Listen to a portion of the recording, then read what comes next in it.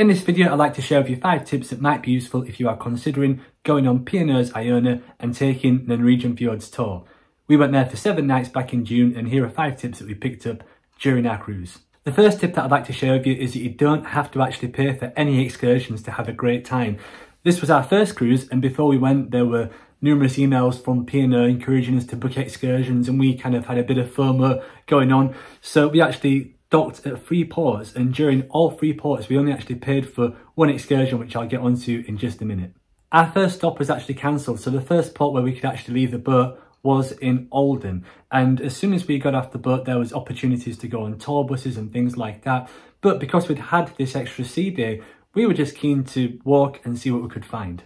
Once you get off the ship, there's about a 30 minute walk to Lake Fløen, I think it's called. I'll put the name on screen just in case I'm not pronouncing that correctly. And when you walk into this lake, there's some beautiful Norwegian houses that you can see on the way. There's obviously all the hills, the clouds, sometimes you can see the snow in the mountains. And there's a beautiful old little church that you will see if you're going in the right direction of the lake. So there is an opportunity to go on a hop on, hop off bus once you get off the ship, but there are two things with that. The first one is that you've got to pay for it. And the second one is that you could actually miss out on some of those wonderful little sites that I just mentioned before.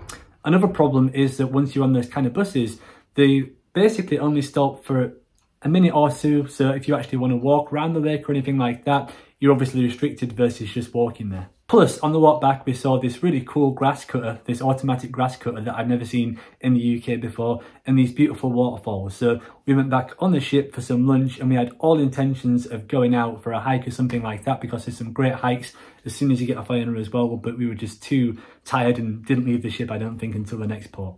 The second tip that I'd like to share with you in regards to this Norwegian tour is to check the excursions that you want to do once you get on land. So one of our stops was a beautiful place called Flam. This was not somewhere that we intended to go, but we're very glad that we did. So if you're looking at booking the uh, scenic train ride there in Flam, if you book that through P&O website or the app that you get when you're on board, I think that costs about £100 per person. There'll be a screenshot of that that comes up now. But if you get off the ship, it's less than a mile walk to the actual train station. All the people that work there speak wonderful English, and I think we paid about 40 or 50 pounds each for our tickets instead of 100 pounds, and it's the exact same ride. All you have to do is get off the cruise and walk less than a mile to do that and you're going to save 40 or 50 pounds. So always do that. There's numerous excursions that you can get maybe up to half price as soon as you get off the ship as well. And of course anybody that's been on a few cruise ships will know that the places or the destinations are not always guaranteed. I mean you do get a refund from the cruise ship companies. But in my opinion, we just like to kind of play it by ear, get off the ship and see what we can find rather than book through P&O. The next three tips are dedicated to Iona itself. These are things that you can do while on board that I didn't really know and we just kind of discovered a few of these haphazardly.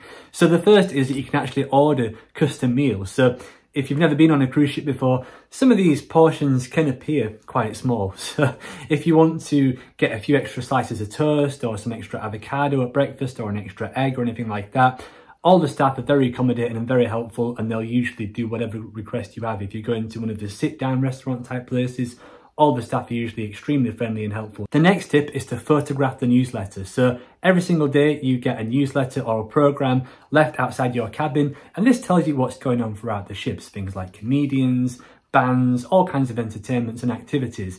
This program, at least on Iona, is absolutely loaded and it's hard to remember all of it with all the times and all the stuff that's going on. So if you're going out for the evening, just grab your phone, take a quick photo. Then if you're planning going to get some dinner, then you're going to go and see a comedian and see a band. You can do that right there rather than have to carry the entire program around with you. The last tip is that you can actually bring your own food and drink on board. Now, you cannot bring your own alcohol, that is forbidden by P&O, so don't do that. But you can bring your own soft drinks and you can bring your own snacks to have in the cabin. Now, don't get me wrong, P&O Iona has an abundance of great food that's constantly available. Amazing restaurants, great food.